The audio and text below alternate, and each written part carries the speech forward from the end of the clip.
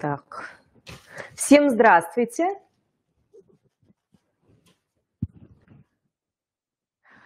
Здравствуйте всем. Напишите, пожалуйста, меня видно, слышно. Поставьте плюсики в чате, чтобы мы могли продолжать.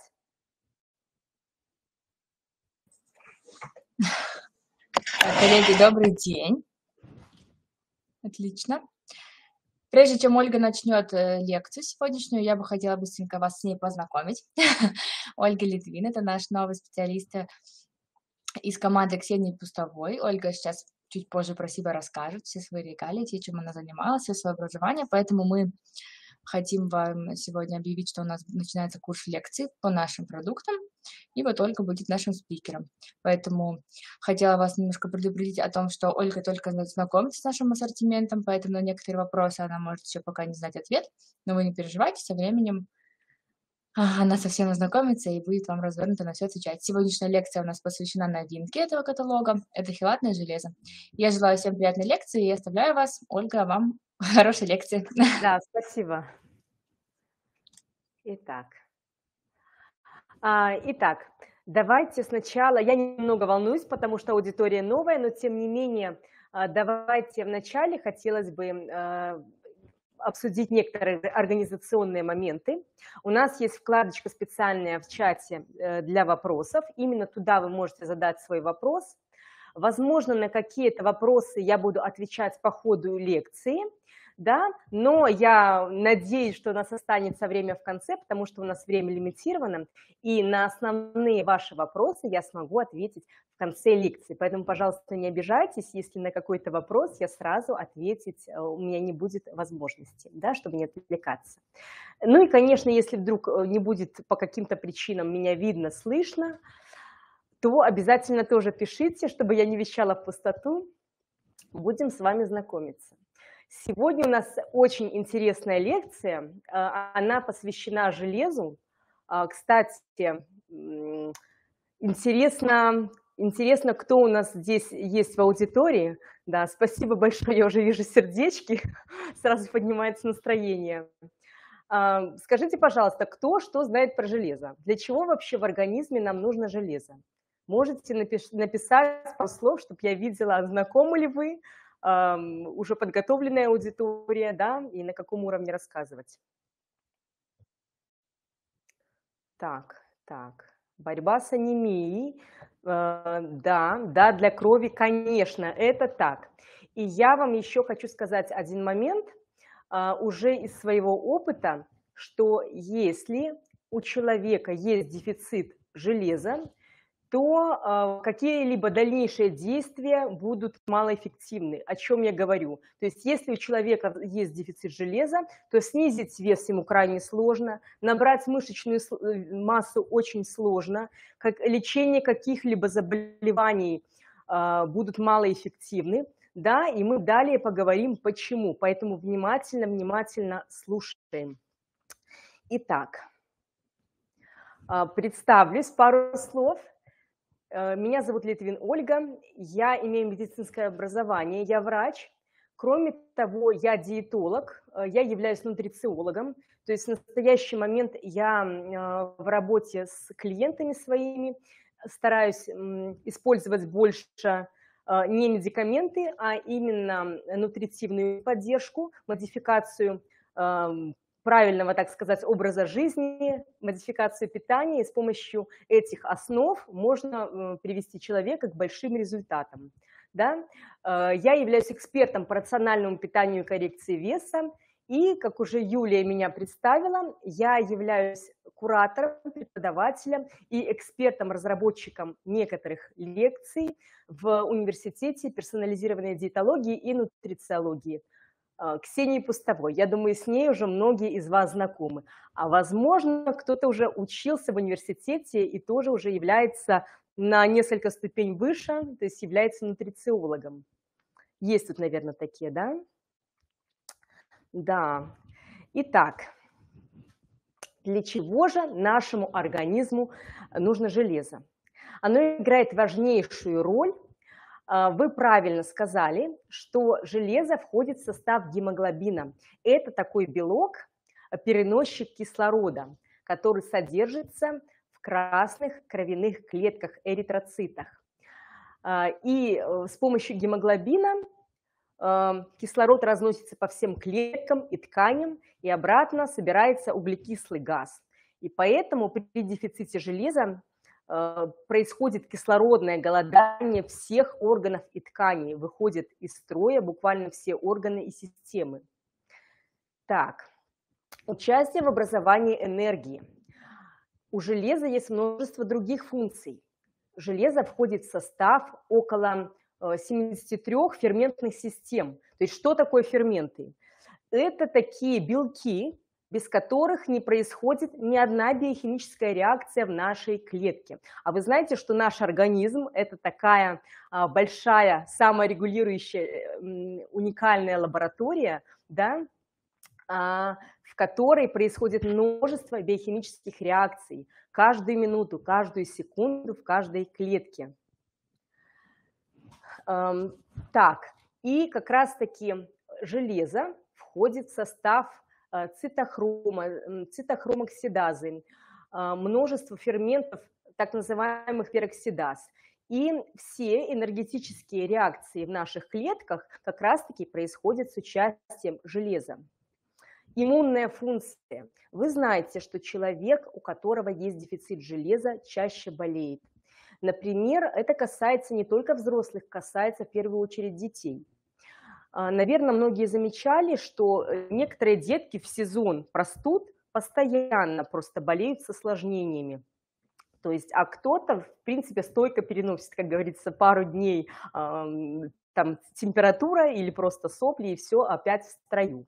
Конечно же, организм и ребенок, и взрослый, у которого нет э, дефицита по данному минералу, да, по железу, он более стойкий, потому что как раз-таки железо необходимо для развития иммунных клеток, для э, производства наших лейкоцитов. Э, например, макрофаги, знаете, что это клетки, которые захватывают все инфекционные агенты в нашем организме, да, то есть они подходят, так поглощают макрофаги, вирусы, бактерии э, и другие какие-то чужеродные агенты, и их, э, скажем так, уничтожают. Это защитная функция организма. Она может выполняться только в том случае, если железа у нас достаточно. Метаболические процессы, то есть превращение железа Э, включая синтез ДНК. А ДНК – это что? Думаю, тоже многие знают. Это как раз-таки генетическая информация, то есть паспорт нашего организма. Одинаковая информация, которая у нас есть с первых дней жизни и до конца дней, а, записана в каждой клеточке одинаковая нашего организма. И как раз-таки метаболические процессы которые есть ДНК, да, перенос ДНК информации, синтез белков, все это происходит благодаря как раз-таки ферментным системам, в которых присутствует железо. Образование коллагена. А что такое коллаген? Обычно мне отвечают, что э, коллаген – это такой белок в коже. Да? Для того, чтобы не было морщин, нам нужен коллаген. И это на самом деле так – а, для того, чтобы кожа была упругой, эластичной. Коллаген также формирует нашу хрящевую систему, наши суставы. Без э, железа коллаген нормально синтезироваться не может. Так, метаболизм некоторых гормонов, например, гормоны щитовидной железы. Сейчас у людей очень много есть э, проблемы гипотиреоза да, то есть когда щитовидная железа вырабатывает недостаточно э, гормонов. Возможно, даже среди сейчас, вот сегодня нашей аудитории есть люди, у которых есть проблемы со щитовидной железой. Есть же, наверное, такие? Так, что может быть? Конечно, это могут быть какие-то аутоиммунные серьезные заболевания, но если мы говорим именно про железо, то может сложиться такая ситуация, что из-за хронического дефицита железа, да, а почему он происходит немножко дальше, поговорим, почему у нас может не хватать железа.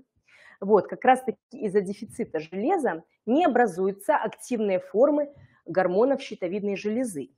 И врач назначает анализы, а, в анализах ставит гипотиреоз заболевания и назначает гормонозаместительную терапию, то есть гормоны. Нет звука, пишут. Так, скажите, пожалуйста, звук есть или нет? Поставьте плюсики, просто одна минутка, да, чтобы я... звук есть. У кого нет звука, пожалуйста, вы можете сменить браузер, залезть через другой или просто перезагрузить, хорошо? Э, у большинства есть, значит, все в порядке. Спасибо огромное. Сразу вижу. Итак, мы продолжаем. Мы говорили про щитовидную железу. А, может быть такая ситуация, что врач назначает гормоны э, щитовидной железы, да, то есть достаточно серьезные препараты, гормонозаместительная терапия, но на самом деле причинами могут быть дефициты витаминов некоторых и минералов, в том числе железа. И если мы восполним железо, у нас может на начальных этапах нормализоваться функция щитовидной железы. Поэтому это очень серьезное, а, серьезное состояние. То есть это минерал, который нельзя пропускать мимо. Нужно постоянно делать какие-то чекапы, проходить, мы об этом тоже еще поговорим, для того, чтобы следить за уровнем железа в своем организме. Так, также необходим, необходимо железо для образования гормона роста. У нас есть такой интересный э, гормон, он называется соматотропин. И за что он отвечает? Это действительно гормон роста, который у деток именно и отвечает за развитие и рост. Э, детки, у которых недостаточно данного гормона, они не растут, да, поэтому если ребенок долгий промежуток времени, то есть какое-то время не растет, ниже нормы, обязательно смотрим гормон, потому что потом может быть уже поздно. А, и как раз-таки благодаря железу происходит синтез данного гормона. Что касается взрослых, для них гормон роста тоже крайне важен. Он вырабатывается именно в ночное время, примерно так. А, по оценкам некоторых специалистов, 11 до часа ночи. Вот почему еще очень важно спать ночью. И вы знаете, что, например, ночью, благодаря гормону роста, мы можем спать и худеть. Да?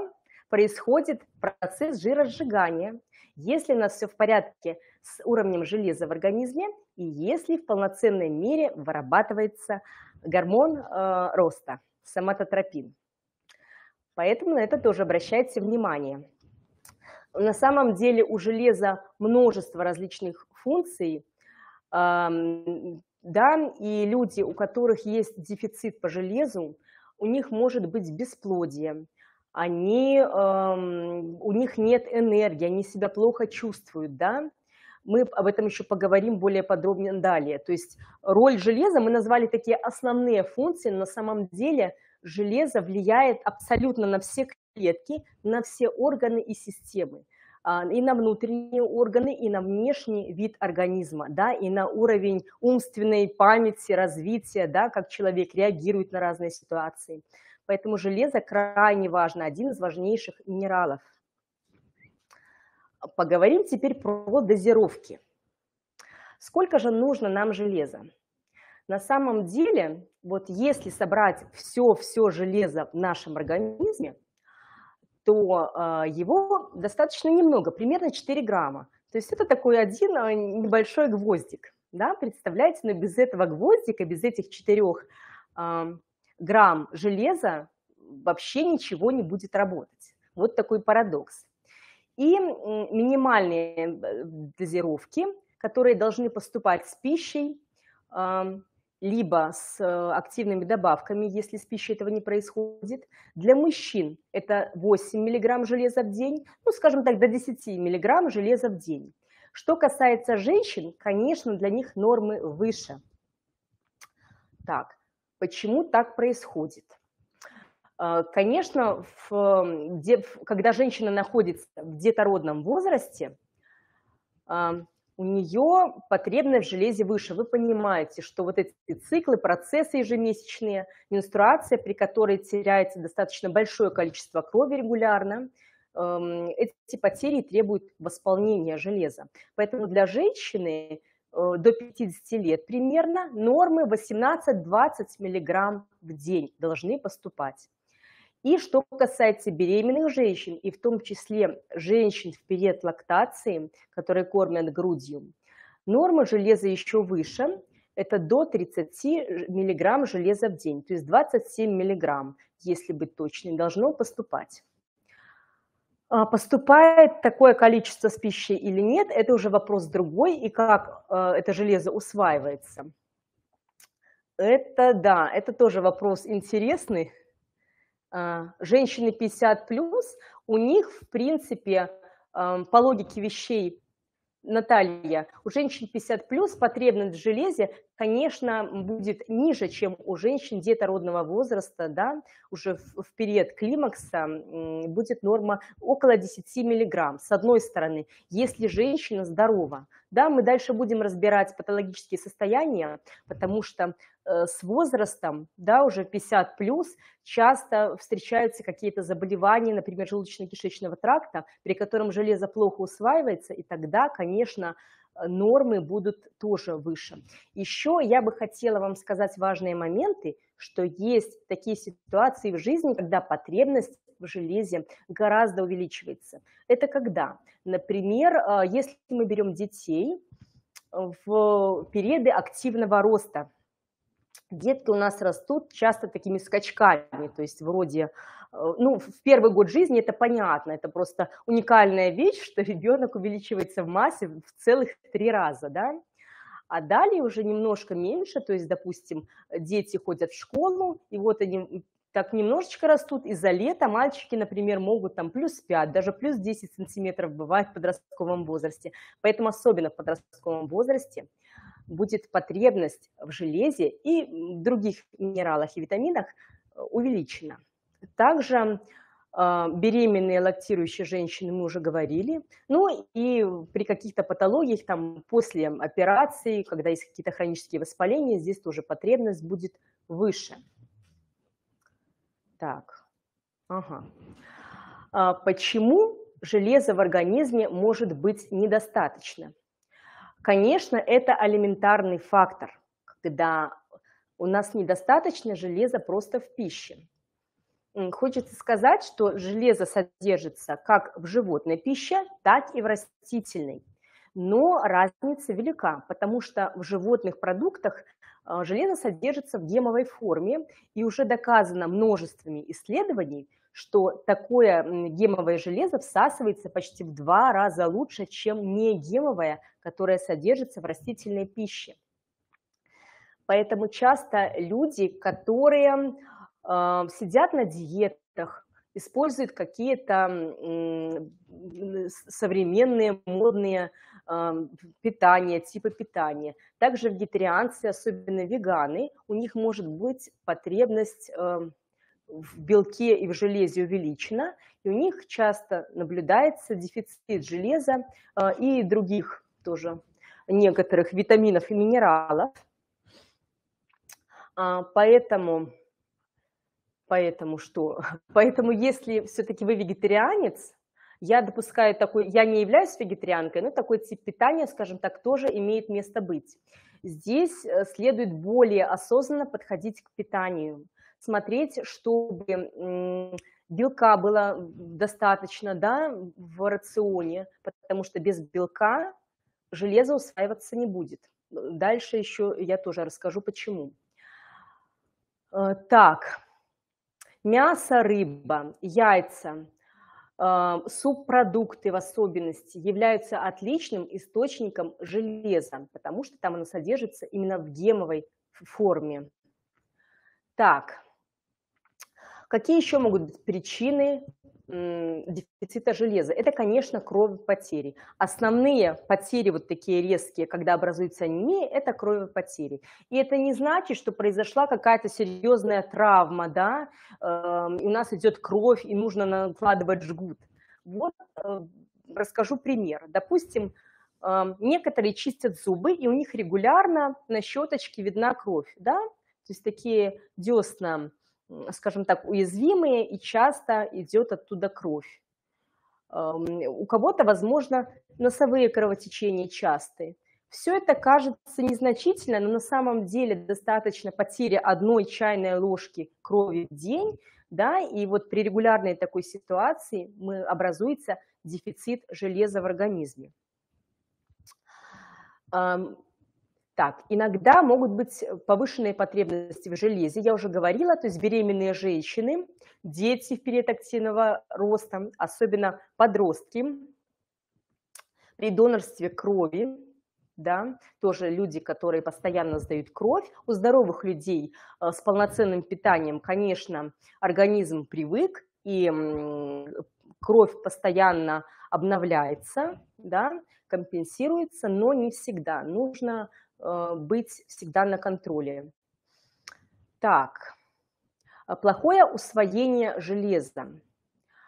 А, многие заболевания желудочно-кишечного тракта – когда нарушена у нас слизистая. А вы знаете, что железо именно поступает в организм, усваивается через слизистую тонкой кишки. Да? То есть железо в нужной форме э, поступает туда, дальше его подбирают белки, вот белок, например, трансферин, который мы можем э, увидеть с помощью лабораторных анализов. И, например, для создания гемоглобина трансферин несет железо а, в костный мозг красный, где как раз-таки образуются э, красные кровяные тельца эритроциты. Это так происходит в норме. И если как раз-таки слизистая у нас нарушена кишечника, то этот процесс происходить не может. Кроме того, а, если у нас понижена кислотность желудочного сока, если есть э, проблемы вот со слизистой желудка, то же самое – а, тогда происходит проблема, что не усваивается и белок, и железо в том числе. Так, какие-то хирургические удаления части желудочно-кишечного тракта, это, конечно, конечно, здесь такие люди обычно на контроле, они э, регулярно издают э, анализы на железо, в том числе на другие витамины, например, там, на витамины группы В. А, когда снижается способность организма абсорбировать железо из пищи. Кроме того, есть некоторые генетические нарушения, и в настоящий момент есть а, генетические лаборатории, где по желанию люди могут сдать анализ и тоже посмотреть свой генетический статус вот по минералам, по витаминам, да, то есть анализ дается раз в жизни. А, и бывают такие проблемы, когда на самом деле у человека всю жизнь увеличена потребность в железе, потому что оно просто плохо усваивается. Частые увеличенные потери железа – это еще одна причина, по которой развивается дефицит железа в организме. Я уже говорила про кровоточащие язвы, про какие-то хронические, такие вяло текущие процессы. Допустим, есть хронические процессы в организме, которые которые, о которых мы даже не знаем, да, где-то, например, в кишечнике, благодаря чему, да, или вернее из-за чего происходит утечка железа. А, хочется сказать, что наш организм очень-очень умный. И если бы он надеялся только на пищу и на какие-то источники железа извне, то, наверное, у нас была смертность огромная.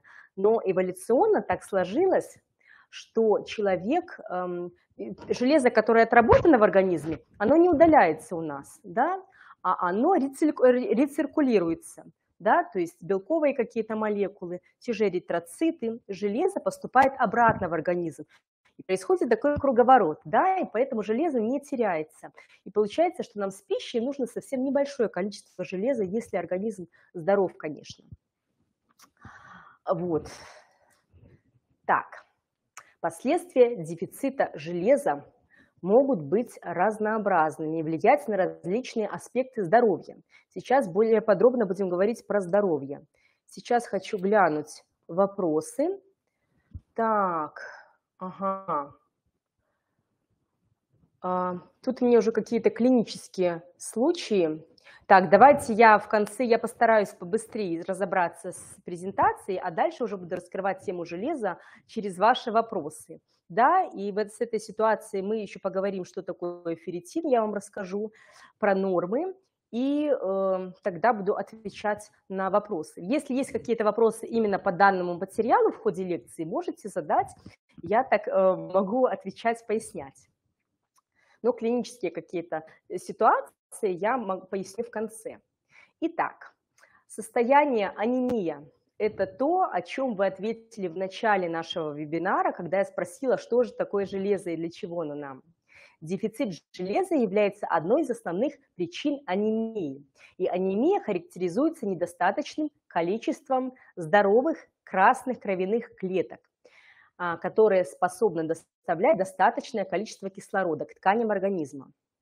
И это, конечно, приводит к утомляемости, к слабости, головокружению э, и различным другим симптомам. То есть анемия – это уже достаточно тяжелое состояние когда мы, например, сдаем анализ, общий анализ крови, и уже видим, что упал в том числе и гемоглобин, ну и некоторые другие показатели врач видит, по которым уже может распознать железодефицитную анемию, ну и есть еще также другие виды анемии.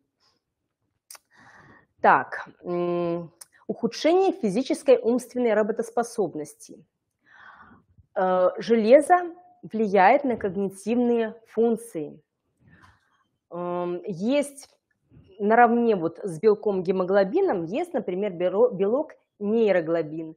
Это белок тоже железосодержащий, который переносит кислород в клетках, в клетках нервной системы, в центральном нервном, нервной системе, скажем так, обогащает кислородом наш головной мозг, благодаря чему у нас всегда ясный ум, высокая работоспособность, мы энергичны, веселые, легко все запоминаем, хотим учиться. Да?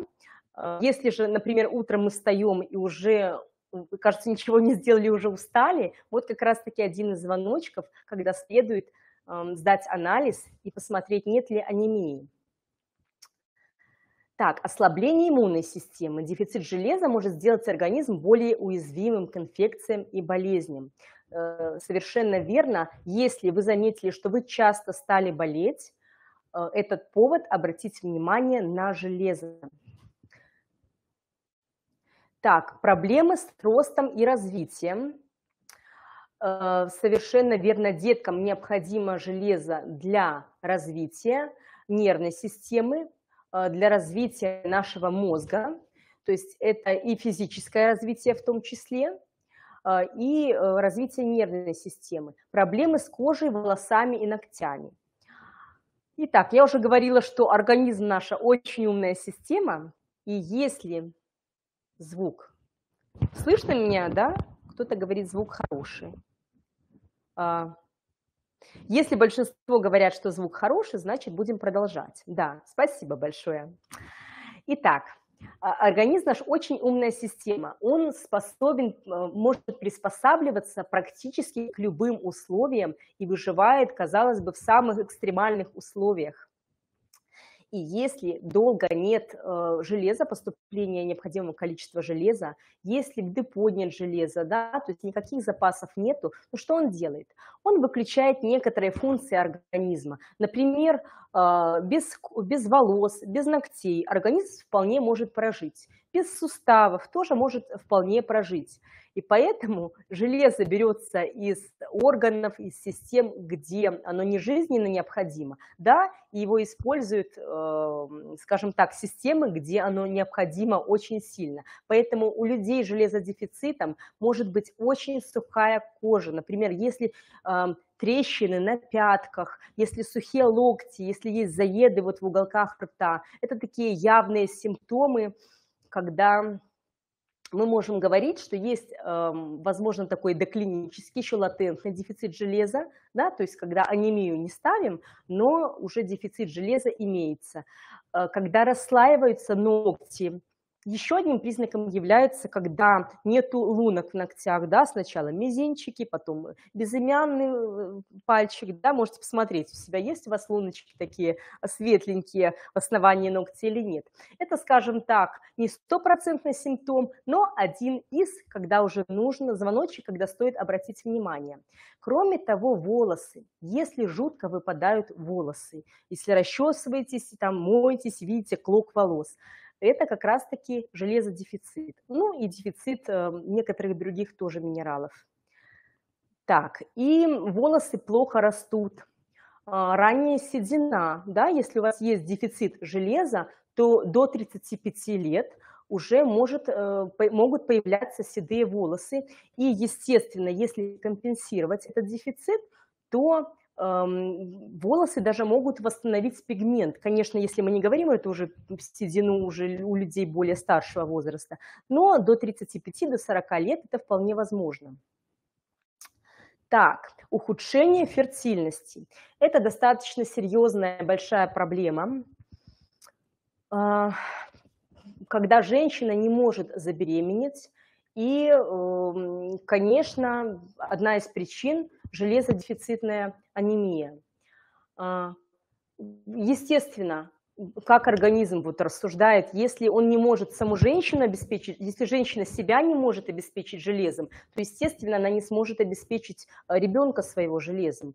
Поэтому часто, вот мужчины как-то меньше, они при первых, они часто обращаются к врачу, потому что женщины, скажем так, более терпеливые, да, и женщина, вот какие-то такие состояния неявные, а когда вот нет энергии, усталость какая-то, ну, волосы посыпались, может дол- дольше это терпеть, вот как показывает практика моя, да, а у мужчин чаще выявляют, у них реже бывает дефицит железа, но, скажем так, выявляют чаще. Они приходят, или женщины их приводят, да, и э, можно заподозрить дефицит железа. А у женщин часто они это не связывают с железодефицитом, ну или они не понимают всей серьезности.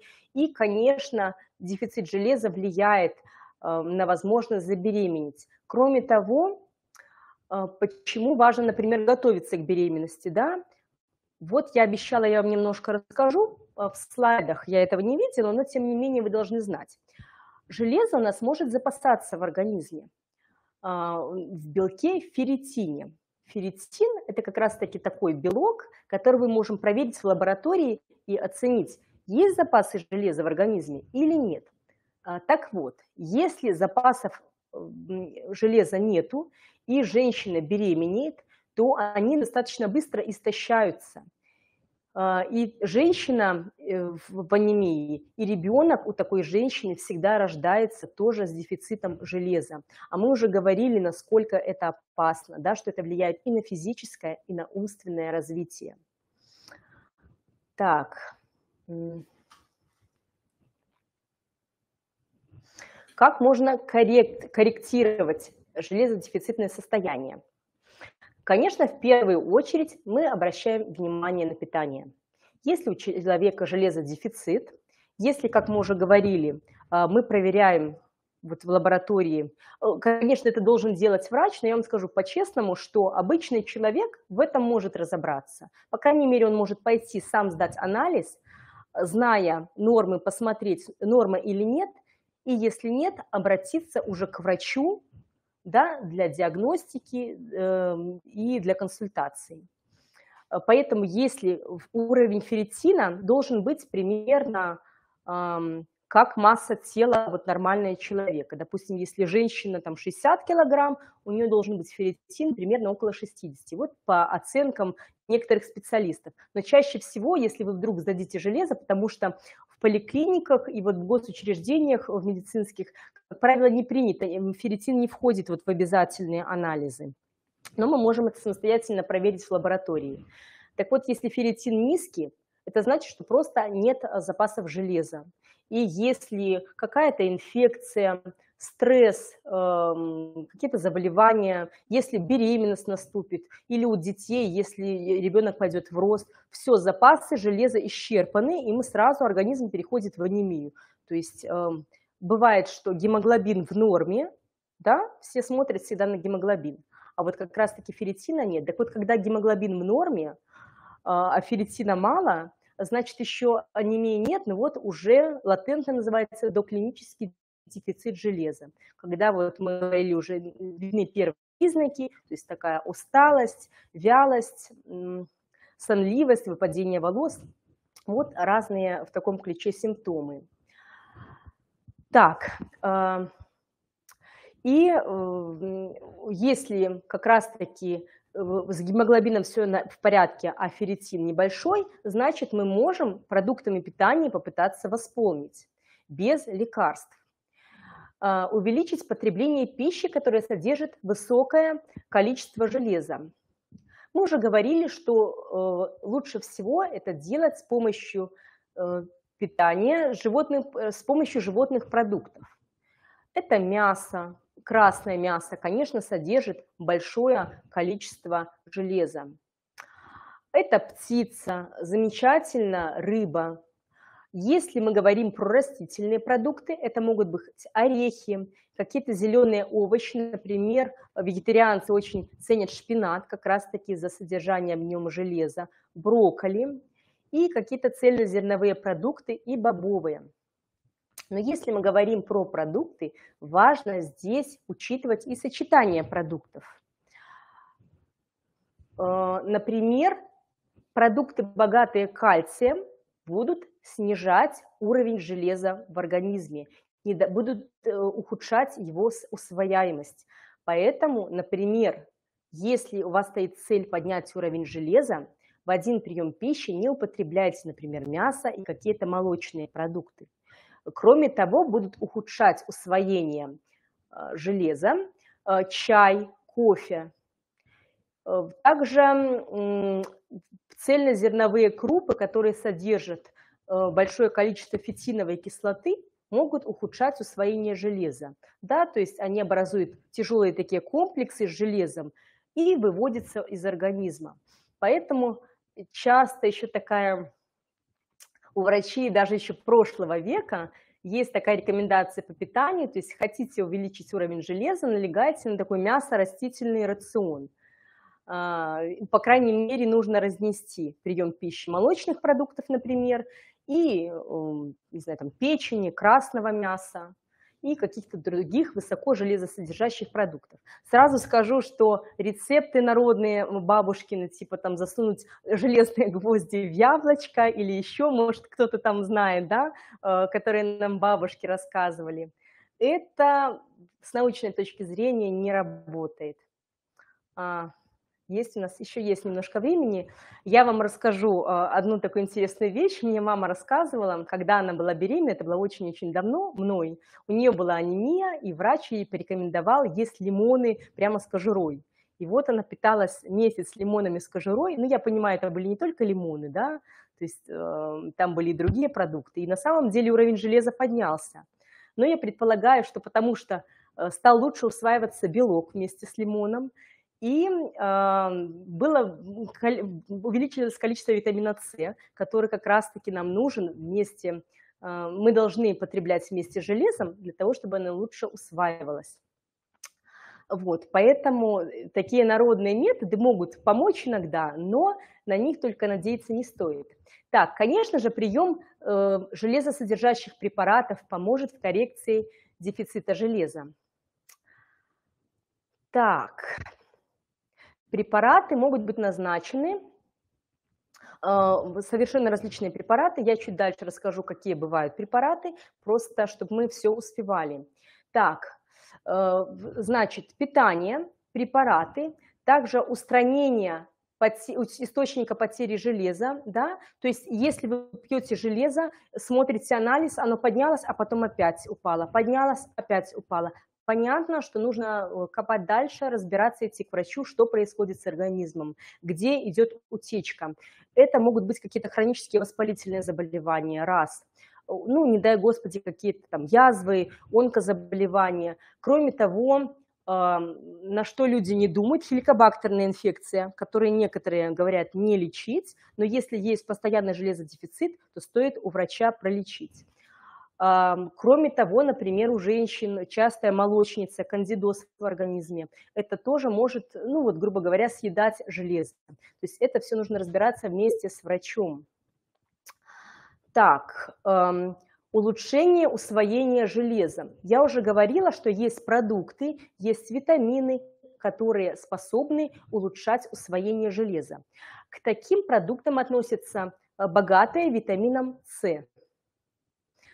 И если, так, Если э, витамина С достаточно с продуктами, то мы спокойно принимаем железо. Если нет, то мы можем э, в, с препаратом железа дополнительно принимать препарат витамина С. Это отличный такой э, комплекс.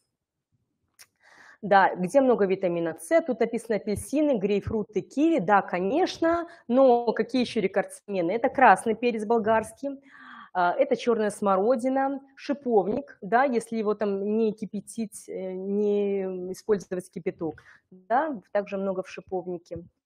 Ну и в растительных продуктах в основном, вы знаете. Так, кроме того, для усвоения железа обязательно нужны витамины группы В. Так, ну вот это, по крайней мере, такие основные, без которых железо не будет усваиваться. Ну и, конечно, белок. Да? Если есть дефицит по белку, если белок не усваивается или мы его с питанием мало получаем, значит, конечно, железо усваиваться не будет. И э, препараты тоже будут плохо усваиваться, потому что не будет трансферина, ферритина и множество других белков, которые вот нужны для усвоения железа чай, кофе, э, так, кальций содержащие продукты, препараты, я уже говорила. То есть чай, кофе, кальций – это такие основные агенты, которые доказано ухудшают усвоение железа. Что такое биодоступность? Это мера того, как эффективно усваивается препарат, как он используется организмом. Если мы рассматриваем различные препараты железа, то есть а, неорганические формы, вот, например, форма сульфата железа, которые часто назначаются до сих пор э, врачами. Почему? Потому что есть... Э, почему? Потому что оно есть в Эм, в лечебных протоколах, да, существуют лечебные протоколы, по которым работают врачи, и там прописано конкретно, что должны назначать, эти протоколы достаточно редко меняются, ну и, к сожалению, бывает так, что уже мир не стоит на месте, появились более современные, доступные препараты, но врачи, кто-то рискует и назначает уже более современные препараты, ну, а кто-то по старинке назначает то, что у них есть в протоколах. Итак, сульфат железа, он, конечно, может поднять уровень железа, но э, плохо то, что биодоступность совершенно небольшая. Так, эм, и, конечно, много побочных действий на организм со стороны, например, желудочно-кишечного тракта, могут быть поносы, э, риски возникновения там, язв, дети, помните еще когда-то, может, кто-то помнит, да, а, когда деткам назначали препараты железа, дети все были с черными, с темными зубами, это как раз-таки одно из таких неприятных побочных действий. Ну и, конечно же, то, что болел желудок, а, расстройство желудочно-кишечного тракта, это все может быть. Сейчас есть более современные препараты. Это препараты э, органического железа. И идеал – это хилатное железо. То есть что такое хилат? Это такой белковый комплекс, когда молекула железа держится в, как клещами аминокислотами. И вот такой конгломерат очень хорошо а, усваивается нашим организмом. То есть представьте, если, например, 10-20% усваивается железом из неорганических форм из сульфата того же, и до 100% может усвоиться хилатное железо. Конечно, оно очень быстро поднимает уровень железа, и врачи, например, которые не привыкли работать с этими, да, с этими препаратами, они побаиваются даже хилатного железа, да, но это все приходит с опытом, поэтому, потому что оно хорошо поднимает, и э, это видно по лабораторным анализам. И человек не испытывает побочных действий. Так, да. Я уже говорила, да, что такое хилатные формы. А, хилат железо, железо там кто-то спрашивает, двухвалентное, но в принципе здесь это не важно, потому что здесь комплекс, оно проходит именно комплексом. За счет того, что оно содержится в аминокислотах, оно все равно легко усваивается. Так, какие есть хилатные формы? Э, поговорим. Глицинатный хилат железа. То есть это железо, связанное с глицином. Мы поговорим сейчас про органические формы. достаточно высокая биодоступность. Есть лактатный хилат железа, а, фумаратный хилат железа. И э, я уже говорила, что есть, есть хилатная форма форме, например, безглицината, да, когда отлично, в, отлично происходит всасывание, максимальная биодоступность. А, имеет хорошую переносимость хилатной формы железа. Они могут быть доступны в различных формах. Сейчас очень множество различных препаратов, которые содержатся, э, где хилатные комплексы есть и в таблетках, и в капсулах, и в различных других формах. Так. Конечно, я могу сказать из практики, что, например, мои э, пациенты, мои клиенты всегда просят, чтобы назначаемые препараты были в капсулах. Во-первых, капсулы легко проглотить, в отличие, например, от таблетки, да, ну и капсулу на крайний случай, если невозможно проглотить или дать э, ребенку или больному человеку, можно эту капсулу всегда открыть и в чем-то, например, растворить. Это не всегда э, можно сделать с каких-то других препаратов, но что касается железа, вполне допустимо. Так, преимущество хилатных форм железа мы говорим, что это повышенная биодоступность, 90-100%. Это просто феноменальная биодоступность по сравнению с неорганической формой. И хочу сказать, что, например, железо из продуктов, оно усваивается не на 100%. Например, оно усваивается примерно, примерно там 10-15% в норме, да, то есть усвоение, а из растительной пищи вообще там 5-7%, да, а гемовое железо 10-15%. И здесь вот хилатная форма, э, когда усваивается 90-100%. Это я отвечу вопрос сейчас тем, кто спросит, можно ли только продуктами поднять уровень железа. Не всегда. Хорошая переносимость, то есть нет запоров, э, поносов и каких-то других других расстройств желудочно-кишечного тракта, уменьшение взаимодействия с другими веществами. Эм, в принципе, когда хилатная форма, многие даже расслабляются и не учитывают совместимость, потому что в любом случае этот комплекс, он защищен, это железо, да, и оно легко усвоится, не будет взаимодействовать с какими-то другими препаратами. Стабильность. Хилатные формы а, могут сохранять свои свойства, достаточно долго и в широком диапазоне условий хранения. Почему мы об этом говорим? Потому что э, достаточно, это очень важно для препарата. И сейчас вот на рынке есть очень множество различных препаратов, просто мы живем в такое время, когда с одной стороны здорово, что есть куча БАДов, да, мы можем сами поправлять свое здоровье, но с другой стороны большая проблема того, что много некачественных производителей, например, э, или много так, тут вопросы уже пошли, сейчас будем отвечать. Или много производителей, у которых там некачественное сырье. Да, и здорово, когда уже есть на рынке э, такой более известный качественный производитель, которого все знают, в качестве которого никто не сомневается. Мы э, поговорим про хилатное железо именно Фаберлик. Э, замечательно, что оно в капсулах. Удобно очень, что в одной упаковке, там как раз на курс лечения – если брать, например, по две капсулы, потому что в одной капсуле идет 10 миллиграмм хилатного железа, и вот как раз-таки, э, когда мы устраняем латентный дефицит железа, можно использовать две капсулы в день. Ой, прошу прощения. То есть это безопасная норма, которую мы можем э, самостоятельно добавлять к пище и э, таким образом увеличивать, обогащать свой рацион железом и увеличивать э, железо в своем организме. Так, а, то есть 60 капсул идет на одну баночку, э, как раз на курс. Если говорим про профилактические дозировки, то есть, в принципе, все нормально, но уровень ферритина нас не устраивает, там немножко ниже, то можно, в принципе, одну капсулу. Ну, конечно, желательно это все обсуждать со специалистом, то есть смотреть регулярно свои лабораторные анализы самостоятельно, если уже, например, например, в университете прошли курс лабораторной диагностики, да, или с нутрициологом, с диетологом, со своим лечащим врачом определить, есть латентный дефицит железа или нет. Биодоступное железо способствует поддержанию в норме уровня ферритина и гемоглобина в крови. То есть, если вы э, с пищей принимаете вот дополнительно периодически хелатное железо, то вы можете быть уверены в том, что э, уровень фетина и гемоглобина будет в норме, но мы можем это периодически проверять, я уже говорила.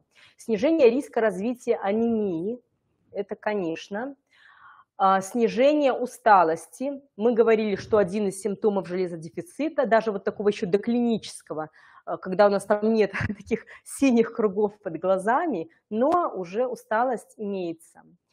А, так вот, как раз-таки биологически активные добавки к пище Фаберлик могут устранить вот эти первые звоночки, симптомы латентный дефицит железа. Ну и, конечно, повышает работоспособность, потому что здоровый человек должен быть энергичным, активным с утра до вечера.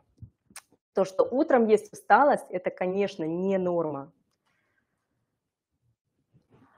А, что касается вот железа аминокислотной, эм, в аминокислотном хелатном комплексе, про что я уже говорила. А, он хорошо усваивается без побочных эффектов со стороны желудочно-кишечного тракта. Мы уже об этом много говорили. И а, не влияет на уровень кислотности желудка. В нашем желудке должна быть очень низкая кислотность, да, кислота, и благодаря этому будет усваиваться и железо, и белок. Так вот, если кислотность эм, ненормальная, скажем так, то железо обычно не усваивается. Хелатные комплексы отлично усваиваются и, в принципе, не влияют, вот, не ухудшают кислотность. И оптимальная дозировка, мы уже говорили, 10 мг – это профилактическая дозировка вот для мужчины. Для женщины будет э, 2 капсулы, то есть 20 мг дозировка ежедневно. Так. Применяется в качестве биологически активной добавки дополнительного источника железа. Продолжительность 1 месяц. Хилатное железо быстро всасывается, длительно его принимать нельзя. Мы делаем перерыв, да? Если есть проблемы, мы пропили, а, посмотрели не сразу, а где-то через неделю, через две с помощью лабораторных анализов. Если у нас поднялось, все, да, то есть делаем перерыв. Если нет, мы можем продолжить, но нужно осторожно, потому что переизбыток железа в организме также опасен, как и дефицит. Но э, с такой профилактической дозировкой, там 10-20 миллиграмм переизбытка, за это можно не переживать. А, так, что касается, здесь уже пошли вопросы, вот с какого возраста можно употреблять детям? Если мы говорим про БАТ эм, Фаберлик, то по инструкции, если я правильно помню, детям и беременным, кормящим это противопоказание. Но это не значит, что детям или беременным не нужно железо. Им еще больше нужно железо часто, чаще, часто чем взрослым, да? Просто часто на препаратах пишут противопоказания, потому что нету каких-то клинических исследований, их редко проводят на беременных, на кормящих, поэтому производитель часто пишет это противопоказание. Но вы понимаете, что с разрешением врача э, после консультации можно применять это также детям и беременным. Ну, по крайней мере, я, я знаю, что хилатные формы железа отлично подходят беременным и отлично подходят детям. Так, нормы гемоглобина, ферритина. Ферритин как вес, э, примерно там от 50 до 100 надо смотреть, э, но он должен быть не менее, чем ваш вес нормальный. И гемоглобин э, не менее там 125. Вот, могут быть какие-то там, ну я говорю такие оптимальные цифры, референсы могут быть больше. Так, детям можно давать наше железо. Я уже говорила, что написано противопоказание, но после консультации со специалистом можно попробовать, потому что дозировка достаточно небольшая, она подойдет и детям, и взрослым. Вот. Но единственное, конечно, я уже говорила, почему часто противопоказания пишут детей, беременных, кормящих, не рискуют производители. В какое время лучше принимать? А, что касается хелатных форм железа, лучше принимать с едой, Время приема, а, ну, я не знаю, время приема вообще в идеале, если организм здоров, если желудочно-кишечный тракт здоров, то многие специалисты, я знаю, назначают э, вечером между приемами даже пищи, не с едой, да, а, но все-таки Я, например, не знаю, если вы не уверены в своем желудочно-кишечном тракте, лучше с едой э, время приема большой разницы не сыграет. Тут более важно, с чем, с чем идет, чем вы принимаете, чем запиваете, с какими добавками, с какими там лекарствами или с каким приемом пищи. То есть мы говорили разделить молочку и продукты, богатые витамином С, витаминами группы В, наоборот, можно. Так, перерыв между приемами. Если вы здоровый человек, эм, но питание вы видите, что ваше не идеальное, я не знаю, раз в полгода а вообще, по анализам, если есть латентный дефицит железа, то мы принимаем, когда нужно, вот месяц-два до наступления, до того, как анализы не покажут норму. Это нужно со специалистом консультироваться. Я так сейчас быстро пробегаю, потому что у нас время ограничено, я хочу ответить на ваши вопросы. Так, уровень ферритина 43. Так, так. А, хилатной формы сразу к врачу. Так, референсные значения 10-120, хилатные формы.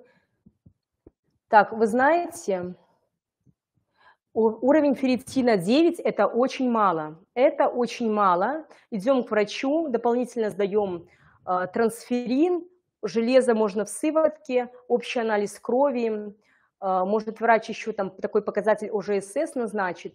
То есть идем к врачу и поднимаем 9, ферритин крайне мало для взрослого человека. Так, э, нет, в капсуле 10 миллиграмм, не 390. 390 – это масса, это упаковка. Э, от 8 до 27 миллиграмм. Так, Анна, я уже ответила, наверное, на вопрос. Э, одну капсулу если у вас нет анемии и серьезного железодефицита, то одну капсулу в день для мужчины принимаем, да, две капсулы для женщин принимаем, да, согласно вот таким профилактическим нормам. Если ферритин очень низкий, здесь э, дозировки могут быть выше. Я вам вообще еще скажу, что врачи могут назначать железо, когда есть анемия, когда они работают вот с хелатным железом, от 50 миллиграмм, а вообще лечебные дозировки такие, восполняющие от 100 до 300 миллиграмм железа.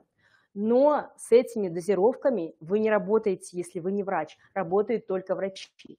Вы работаете с профилактическими дозировками. Если есть более серьезная проблема, значит сразу идем к врачу.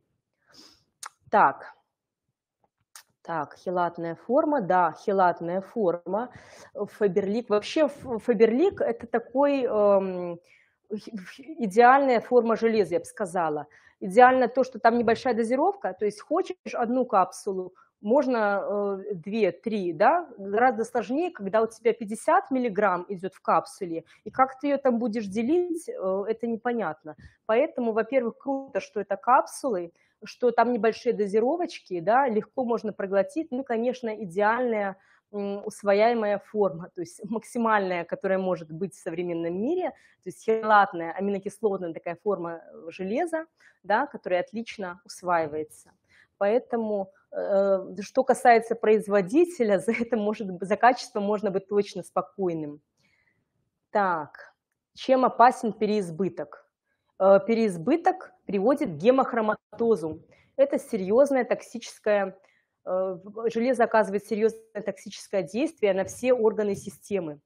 И уже такие крайние случаи, гемохроматоз может быть врожденным каким-то заболеванием генетическим, да, но если это переизбыток железа, что бывает редко, но бывает, идет токсическое действие, человек там может синеть, темнеть, ну, в крайних случаях летальный исход. Но это уже такое вот серьезное состояние. Итак, у нас с вами осталось совсем немножко времени. А, очень хотелось уложиться, но я буду дальше стараться уложиться в час. Я вас хочу поблагодарить за внимание, за то, что вы пришли. Вы очень приятная аудитория, очень такая э, отзывчивая. Мне приятно видеть, что вы пишете в чате. Я надеюсь, мы будем с вами видеться каждую среду мы разнакомимся с вами больше. Да, я вам желаю здоровья и до новых встреч. Спасибо вам огромное. Ох, цветочки, сердечки, большое спасибо, мне очень было приятно. До свидания.